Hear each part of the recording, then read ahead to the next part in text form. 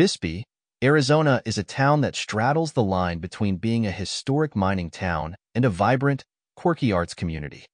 It's a place where you can explore old mine shafts, wander through art galleries, and hear tales of ghosts and hauntings.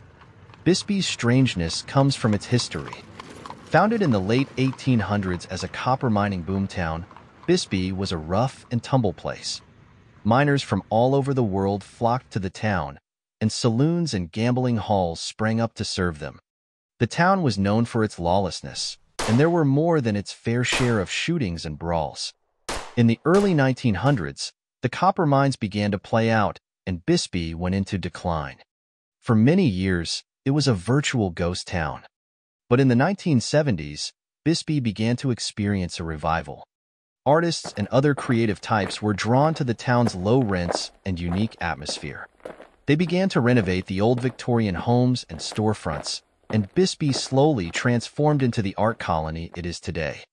Today, Bisbee is a labyrinth of narrow streets lined with art galleries, studios, and shops. The town is also home to a number of bars and restaurants, many of which are housed in historic buildings. There are also plenty of opportunities to explore Bisbee's mining history. Visitors can take a tour of a mine shaft, or pan for gold in nearby creeks. Bisbee is also known for its reputation as a haunted town.